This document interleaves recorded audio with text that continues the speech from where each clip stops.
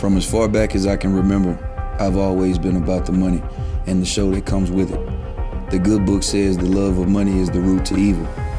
I'd say for me, Zamir King Frazier, to have money gives me the power, even if it means evil does me some good. It's been a while since you felt like this, this, this, this, this, this, know how it is.